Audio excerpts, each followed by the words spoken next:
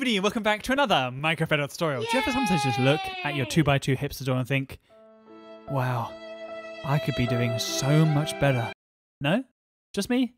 Oh, okay. Don't get me wrong, a 2x2 hipster door is a fantastic build. It's very fast, it's very compact, and it's extremely practical. But when people are making hipster doors like this, yeah, it just doesn't seem so awesome anymore. Now, what I thought I'd do is make a new hipster door. Now, sorry in advance, it's not a 6x6, but I am going to make, no, I have made, I'm now going to show you, is a 4x4 hipster door.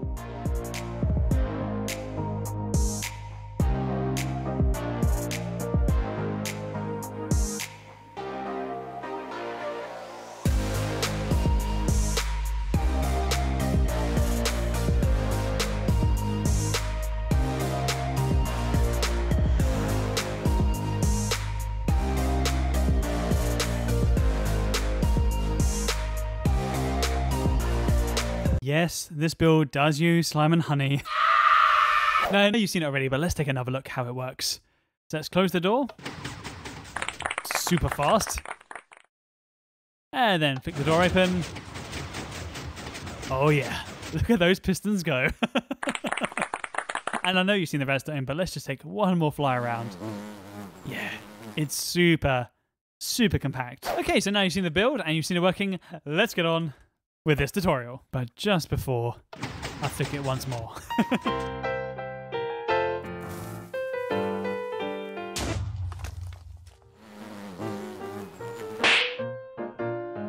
Okay, to start this build, like usual, we firstly need to determine where our door is actually going to be. So I want my door to extend from the ground from here up to here. So I want a 4x4 square up here, like that. So that being the front of the door, and this being the back. So the slime and honey going up this side. So no honey on this side, but there will be honey on this side. So this is the front, and that's the back. All right? Just make sure you got that in the right place because you don't want to be moving it afterwards. okay, after that, we've got to do a little bit of digging. Break the four blocks out in front and remove any blocks underneath the door. One, two, three, four. Come to the left and break out one, two, three, four, five like that and then count this as one and go one, two, three, four, five, six, seven, eight, like that. And now we can just fill in the rectangle or break out the rectangle even and go like that. So now you should have a one, two, three, four, five by eight wide hole. One, two, three, four, five, six, seven, eight. Perfect. But sadly, this hole needs to be 11 deep. And of course, this is only one deep. so you're to dig this out 10 more times. Fantastic, like that. So it should be 1, 2, 3, 4, 5, 6, 7, 8, 9, 10, 11 deep. Brilliant. So now we can place in our pistons. Now the pistons aren't going underneath these blocks here because of course we're not moving these blocks, we're moving the slime and honey, which is moving those blocks. So what I want you to do is place a block here, like that, and then come down 9 underneath. So it should be 10 in total. So that's 1, 2, three, four, five, six, seven, eight, nine, ten. Remove the first nine, going all the way up, and then have four sticky pistons uh, facing directly upwards. Go one, two, three, four. So you should have one, two, three, four blocks like that before we would hit slime or whatever block we'd have there. So there should be four blocks like that I don't know how to describe that very well, but basically make sure there's four blocks and it's like that, okay? Oops. Then you want to place four more to the side. Like that. Another four. And the last set of four. Like so. So you can see it's one block behind these blocks. You know that awkward moment when you do all the redstone and then you realise you've done it completely wrong? No? Is that just me as well? Yes, that just happened. so after that, come over to the right hand side and place a block here off the bottom piston. And this is where our lever is going to go. Then have a torch to the left or toward the front, a block on top of that torch, and a torch to the right, which should turn off. Then a block, then a torch out like this, a block on top, a block on top, then a torch on this side, which should turn off. Then an obsidian, then a torch out, then a block, torch to the right, and a block, Then grab an observer, place it downward off the side of that torch, so the face going toward the sky. Uh, block, sorry, no, obsidian here, and dash like this, one and two. So, if I flick that lever now, these four pistons should extend, like this. Why? Well, because when I flick this lever on, this power, this obviously powers, extending this piston. That obviously turns that torch off. I'm powering this torch, powering this uh, torch, powering this block. That turns on. That's off. That goes off. This is on. This is on. Powering this one on. That one goes off. This one goes off. This one goes on. This one goes on. Turn this dust on, which turns on this piston, extending it. Now, of course, we want to extend all of these pistons, not just the first four. So we're going to do that by firstly placing a line of obsidian like this up to here and dust on every single one. Then come underneath here and we now want to place a block next to that off torch and go along and dust on every single one. And then place a block here, blocks all along and dust. but on our last pistons, we want something different. Okay, so coming from the torch, go around this side where all the dust is, place a block here and one down, remove this one, and then we want an observer facing toward the back like that, so the dot going toward the back, and then have an observer coming away from that one. All right? And then the same on this side. So one like this, but mirror it. So one going toward the lever, but then one more. And then we need dust on these five like that. One, two, three, four, five, but not on this observer. So now when I flick the lever, they should all extend because these dusts should all turn on. Perfect. And funnily enough, we actually have our first retraction as well because there's an observer here.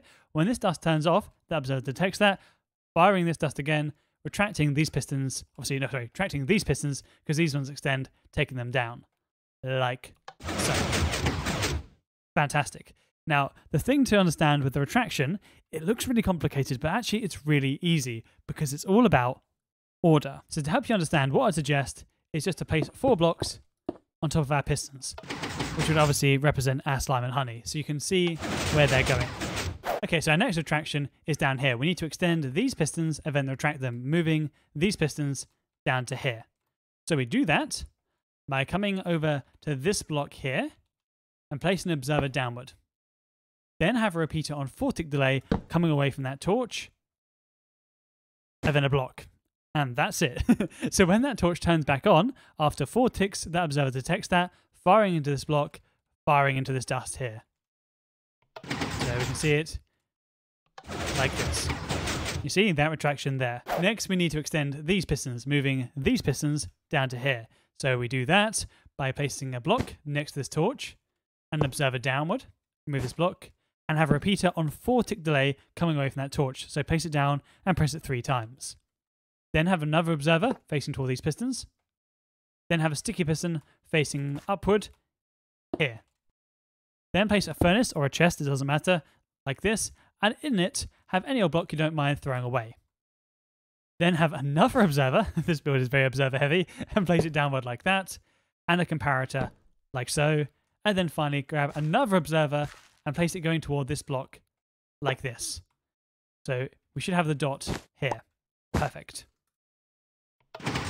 So this works by when that torch turns back on, after four ticks, this, uh, this repeater obviously turns on, which obviously that observer detects firing, that observer detects that one firing, which fires, which fires into this piston, and moving this furnace up then down. So obviously this comparator is going to turn off and then on very quickly, which will then power this observer. That observer will detect that, powering into this block, obviously powering this dust once more. Like this. Brilliant.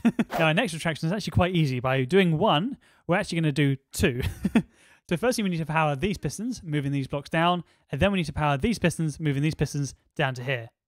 So we do that by placing a temporary block next to our obsidian, an observer down, move that block so the face is exposed, then coming away from this obsidian, place a repeater on 3 tick delay, so place it down and press it twice, once, twice, come up, crouch, and place a repeater on top, have dust here, not a block, it has to be dust, then an obsidian here, and finally, another repeater on 3 tick delay. So place it down, press it twice. Once, twice. Now, why this bit gives two retractions, I'll explain very briefly. When this obsidian turns off, after three ticks, this repeater turns on. No, wait, off. when that turns off, this observer detects that, powering, powering this dust. After three ticks, this repeater gives a pulse into here. That obviously extends these pistons, moving these blocks down. And at the same time, this observer detects that and then fires into this dust, extending these pistons, which grabs these pistons down. Like this. Perfect. So now we need to fire these pistons to retract these ones down to here. Now we do that very simply by grabbing observers. And we need to place an observer coming away from this one. So we can see the piston on the left and the observer face to the right. Place one like that. And then two up. One, two. So as these observers are getting fired, this one detects that, fires, this one detects that one firing, firing. These two detect that one firing, which fire, and then the same with this one. This one detects that one, and then this one detects this one, firing into this block, obviously powering this dust again. Like this. So now all we have to do is fire these pistons again, retracting these blocks down, then these ones, retracting these pistons down, and then the top ones again, retracting the blocks. Nice and simple. now we do part of that retraction by coming down to this observer here, placing a block, one out. Coming away from this block, we need a repeater on four tick delay. So place it down and press it three times, once, twice, thrice. then we need three observers coming off that repeater. So crouch, place an observer, then two more. Then we need a redstone block, which I failed to get out, which is clever. Just give me a second. Okay, I got my redstone block. so place it here, and then have another observer like so. You see now we nearly have all our retractions.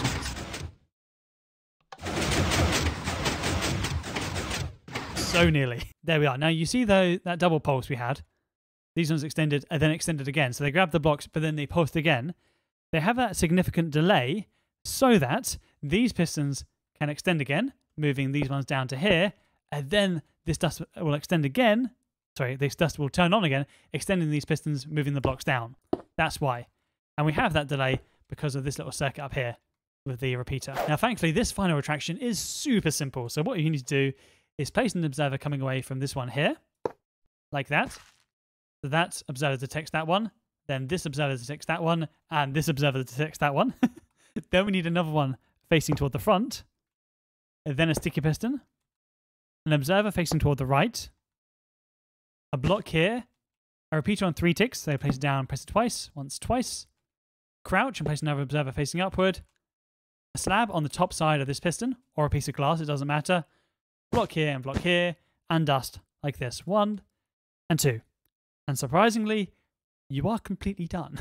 As it retracts like this, this observe these observers are obviously firing, which fire into this piston, moving this observer up, then down.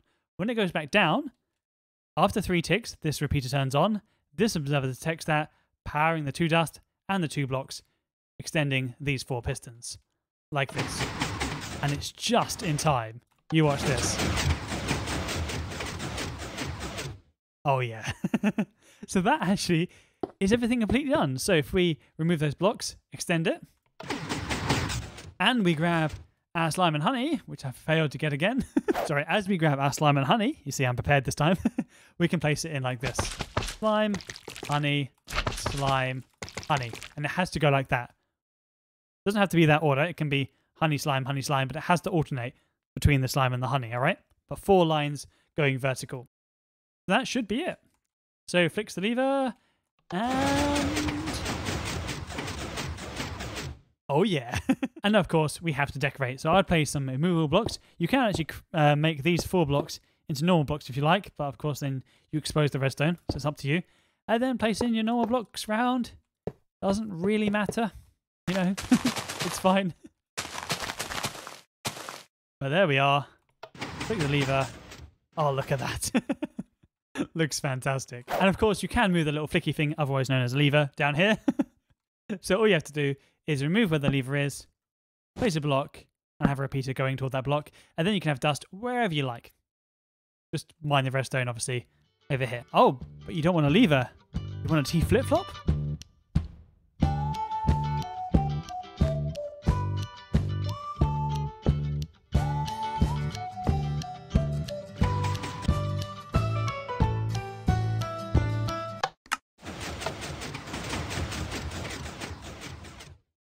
Stand in this door,